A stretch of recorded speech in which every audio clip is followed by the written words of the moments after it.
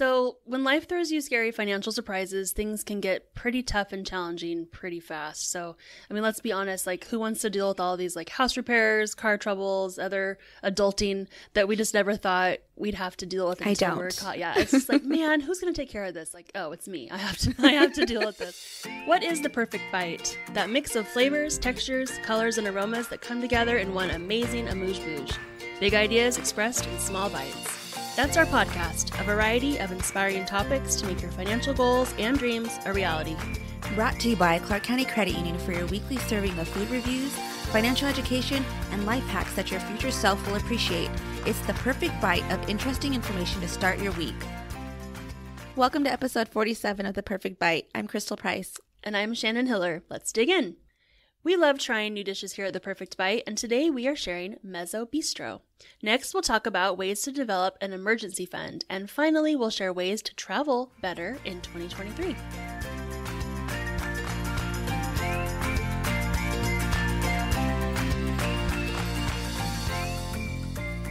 Each week on The Perfect Bite, we'll visit a locally owned Southern Nevada restaurant that we hope will become your new favorite. This week, we're sharing about one of my new personal favorites, Mezzo Bistro. This location has been I think it's been there forever, for, for as long as I can remember it being. It's on Rancho off of Craig, and I've always seen it driving by. Never went in. I've seen, um, gotten ads like in the mail, gotten you know these this offer heard of and it. that. Never, never, ever gone in until finally, uh, recently, I went with Rodney, my husband, um, on a date night with one of um two of our friends, and it was it was great. The environment was great. The food was great. Perfect for a date night because they've got like um, it's very Italian. So they've got the dim lighting. There's twinkle lights, a lot of like greenery, real and um, fake greenery. There's outdoor seating. Um, they've got candles, and they've got a huge wine bar. Like when you walk in, so it's putting out all the romantic Nice. vibes there. One of the cool things though, that I also noticed that even though it's like set up for people to go and dine in or on the little patio area, they got a good amount of people that order to go. Um, while we were there, we saw a lot of people um, getting the packaged up meals to go. So it's like, cool, we can do this, you know, just on a regular weekend if we wanted to order some pasta or something. What I ordered from the menu, again, um, kind of just not doing my traditional. Usually, what I order when I get Italian is like a chicken parmesan. Mhm. I ordered the chicken piccata. Have you ever had that? Oh yes, that's lemon, right? Yes, yes, yes, yes. that's yes, like one of my go-to faves. Oh, Yeah. okay. Mhm. Yeah, no, it was so delicious. Was it lemony? It was just enough lemony, Okay. just enough. It was not too much. 'Cause last time I Sauteed chicken breast. Else, I was like, this is not not enough lemon. So. Oh, okay. No, yeah. Well, I mean, I've never. I'm, this is my Yeah. first time, so there's no frame of reference. But it was delicious. Um, chicken was cooked perfectly. The lemon was cooked in a um, a white wine sauce with butter. Um, it had capers, and it was served over angel hair pasta. Delicious, absolutely delicious. Ordered wine, of course. The meal itself was about eighteen dollars, so not bad. Um, the wine was probably about the same price, so about forty dollars for my meal alone. I think though, what I want to do next time I go is order the pizza. I know, you know, they've got a lot of the pastas and stuff, but they've got a lot of um, pizzas that you don't see like at a traditional pizza location. So um, they've got the Neapolitan pizzas. One of the ones that I want to try is the called the Mona Lisa, and they've got it with um, house-made sweet sausages, which I really like sausage. Goat cheese, never had it. Why not? Let's try it. and of course, mozzarella and marinara. So that will be my next go-to item. Uh, my one recommendation, um, if you've never been to Mezzo before, if you're planning to go in the future, is to check out the menu in advance. Like I said, there is a lot of kind of like authentic Italian meals. They are family owned. A lot of the waiters um, and the, the staff there, you could tell like they've got the accent. I don't believe it was fake, um, but it's it's authentic food. So check out the menu. Try something besides spaghetti and meatballs. Try something new. Um, so next time we want to also check out. Um, I saw this on the website. Was that they also do trivia nights and murder mystery dinner nights. Oh, fun. So I'm like, yeah, I need to go bring some friends and um, check out one of these days. Well, if you got a recommendation for a restaurant for us to try, send us a message at the perfect bite at ccculv.com. We're always open to new ideas.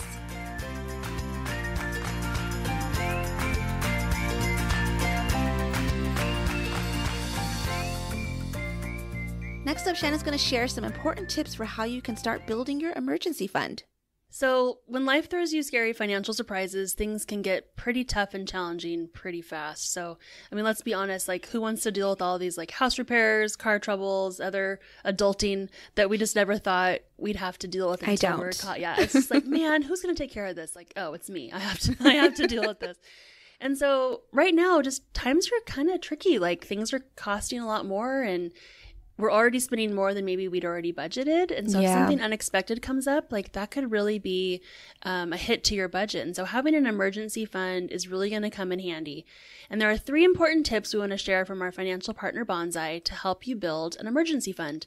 The first one is it's an emergency fund is not the same as a savings account. And so if your mindset is like, oh, something happens or breaks, I have that money to pull from the savings account, but really you need to keep it something separate. It's not something that you're going to dip into. It's not in your monthly. It's something that you're just not going to touch and we'll only use it for emergencies. So you're not going to be spending that accidentally if it's grouped with other money, if that makes sense. Yeah, I think one of the things I like about the credit union um, too is that there's like the opportunity to have more than one savings account, so you can have your regular like future savings, but then you can also have a second emergency savings um, account that's Mm-hmm. Or separate. the vacation fund, something Yeah. totally separate that you don't really touch until it's time for that vacation. So, yeah, so keep it as a separate account that's sort of like we're not going to touch this unless it's a true emergency. Number two, have at least three to six months worth of your emergency fund. So I kind of had a heart attack when I read that because that's a lot of money if you think about how much you actually need. But that is what experts are recommending. So you can cover these essentials like housing, food, debt payments for at least that amount of time. But I'm going to say start with one month yeah, one month and then go from there. Once I have one, I'm going to go to two. That feels a lot less intimidating because sometimes Mm-hmm. if I'm like, I can't get to six months, I'm just not going to do it at all. That's my personality. Yeah. So I'd rather break it down into bite-sized um, goals that we can we can and it focus can on. get pricey where you actually need it. We had a um a water leak um when we first moved into our house, and it was from our upstairs laundry room leaked down into the walls um and the floors. There was a socket there, and so when we called our insurance, they're like. You know, it's it's really close to that thing. I think you guys should leave. So thank goodness we had the insurance to cover it. But you know, looking at the bills, we had to pay and then get reimbursed. We had to pay for hotel stay. You know, there's there's seven of us, so that got really pricey. Um, on top of the food because we don't have a kitchen in our hotel out. room, so we're eating out. Exactly. So three to six months um, seems like a lot, but depending on the circumstance, that actually could be very helpful if you don't have mm-hmm. insurance for whatever that emergency is. And I would say just specify these are essential needs for three to six months. So if you really were in a bind, you would probably not do a lot of the extra entertainment or you know, Right. eating out. So like, don't think of it as like I need three to six months of how much money I'm earning, but how much money mm-hmm. is like the actual true cost of essentials. Yes. And we also have an emergency fund calculator that we'll link here to help you figure out a good place to start. And number three, prioritize savings. When you plan to save, a great rule to follow is the 50 30 20 rule. So 50% of your income goes towards your needs, 30% towards wants, and 20% towards savings. This makes budgeting easier when you plan to start building your emergency fund, and you can just choose how much money you want to put towards that fund as well. Next, we'll take a break to hear from our sponsor. Clark County Credit Union members have received more than $73 million in bonus dividends since 2001 just for using the credit union services they need every day. Since CCCU is owned by our account holders, they earn the dividend, not shareholders. This year, we returned a $2.6 million bonus dividend to members with auto loans, credit cards, and checking accounts. Open an account today and start earning your own bonus dividend. Funds privately insured by American Share Insurance. Next up is our Future Self segment inspired by the Happiness Project. If you're planning a vacation for the future, you'll want to pay attention to today's Future Self segment. Today I'm going to share a few of the nine ways to travel better from a U.S. News article, which we will share in our show notes. So, in the last couple of years, um, I myself, I've definitely been traveling more. Um, the pandemic kind of opened me up and made me realize, like, hey, I need to take time to actually make more memories with my family. And so, um, a couple of the tips that were mentioned in this article, I'm like, oh, cool, I'm doing these now. And then there was a couple that was like, okay, I need to incorporate this into my future travels. So, the first one on the list is to stay social. Now, when I first read this, I was like, okay, cool, I'm doing this. Um, one of the things that I do before a trip is I um, look to Facebook, um, Facebook groups. I've really, you know, leaned on those to give me insider tips, things to do, things not to do, um, the must sees. If I have any questions, I'll ask the group. I've done this um, when I went to Universal Studios, um, when I went to Mexico, and right now I'm currently researching a, an upcoming cruise. So I've, I've joined these different groups. Have you ever done anything like this, Shannon? No, so you're just like a cruise Yes. Alaska cruise group. Like yes. Yep. Hmm. And you it gets very specific too. So if you know exactly like your destination, I am in the Alaska cruise group and people, you know, ask like, you know, what are the excursions that we should try or do you re- recommend um, getting a window? I heard that it gets very bright. Do I need to bring like um what are those eye eye protections and you know they're like no you know they give you all the mm. insider scoop like we've done this we're the pros you know check out this location if you're doing this line you know this is the best month blah blah blah blah blah There are definitely cruise people. Like, Yes. they know all about it. So that would they be a are in these idea. groups they are in there so check this out so the article though had a different spin on it.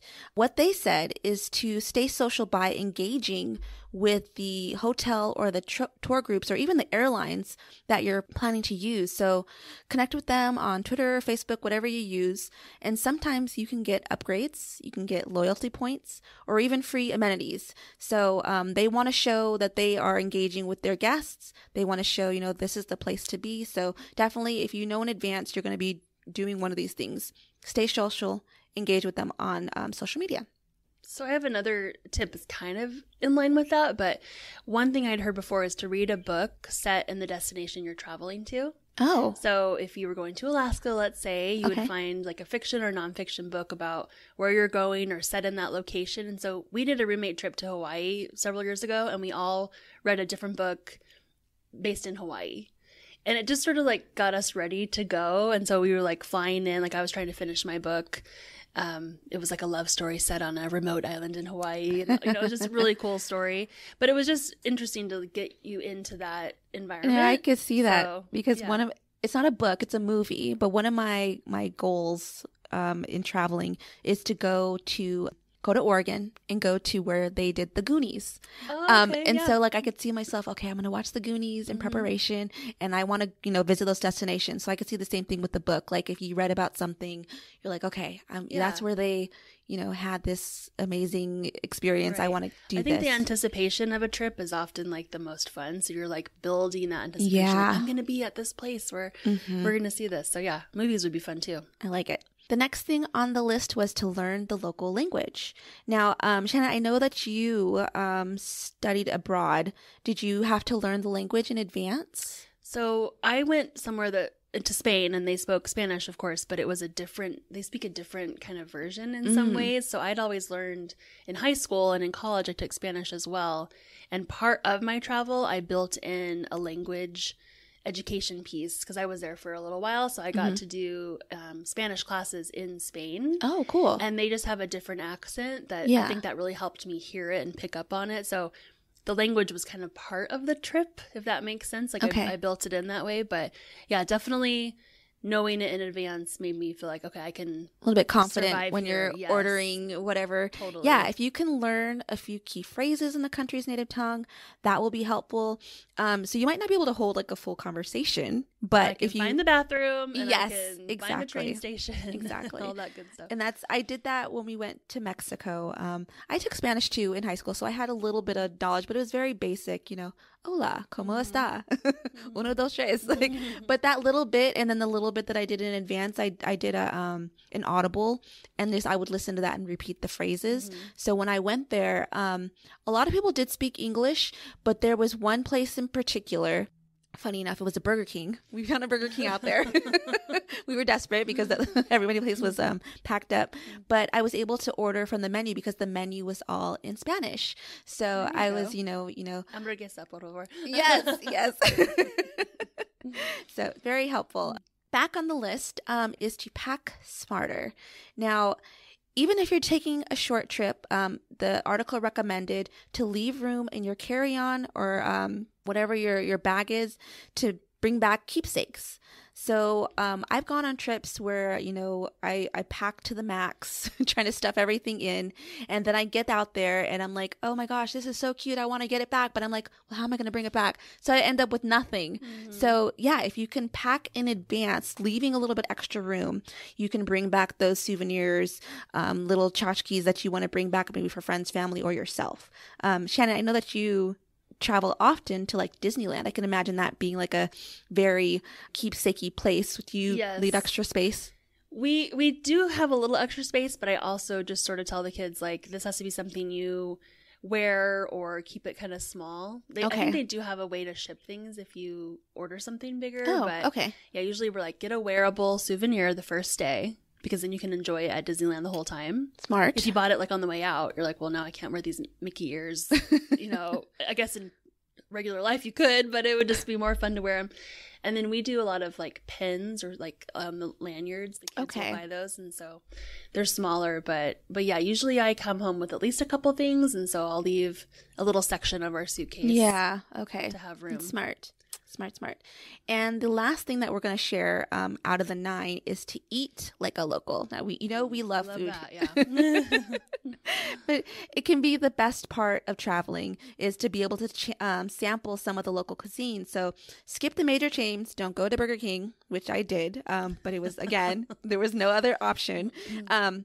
What I did do, like when I was in Mexico, um, I made it a point to try the local, and so ceviche was what I was like. I'm gonna, I'm gonna try it. We were right off the ocean, um, and it was great. And now I have that memory of eating ceviche in mm-hmm. Mexico. You also get the benefit of learning more about the local culture and creating a long lasting memory over an unforgettable meal that you may experience. One thing I wanted to say too is like, and I haven't done this yet, but I want to. We were going to do this before the pandemic ruined our plans to go abroad, but do a cooking class or something in that oh city or culture. Like you know, if you were in Louisiana, maybe you want to do like a oh, like while Creole, you're out yeah, there, while you're there, like that take a sounds cooking fun. class or like learn how to make tortillas if you're in Mexico or whatever. And the other thing I like to do is buy some kind of a, a spice or like a cool salt. It sounds funny, but like when we were in Hawaii with that girlfriend trip, mm-hmm. we bought um, different like there's a black salt, a pink salt, like all these different types of salts. And so then when you make something with the recipe later, you get this little like memory burst yeah. of happiness like oh this is what i bought no that's a great idea. so i would definitely do that yeah and, and then i have one more tip sorry. Yeah. Um i do this for the podcast too but i keep a yelp account and so then i can bookmark restaurants and make a folder for that city that destination. Oh. And then i'll put all the ones i've researched in advance like this is where i want to go and then i can kind of favorite the ones that were really good. So next time if I go back to that place, I mm-hmm. can remember. Or if someone says to me, "Well, where did you go? Where did you eat? Like, you what do you that recommendation? Yeah, have it in Yelp. So I really rec- I recommend doing that because then I have a terrible memory, and I'll be like, two years later, I will not remember that. Right. There was a tree place. out front. Yeah, yeah. No, I won't remember. So yeah, create a little folder so you can go back and and spread the the good the good word of the places to eat. Great advice. I will definitely do that one for sure. So, to all of our listeners, we encourage you to go into your vacations as informed travelers, not tourists. Open yourself up to new experiences that will leave you with rewarding, meaningful, and enriching memories. We want to hear from you. Send us your financial questions or money topics that you'd like to learn more about, and don't forget any fun local food recommendations. Our email is theperfectbite at ccculv.com. Thank you for listening to this week's episode brought to you by Clark County Credit Union. For additional money management tips and financial calculators, check out our website at ccculv.org. Now that was the perfect bite.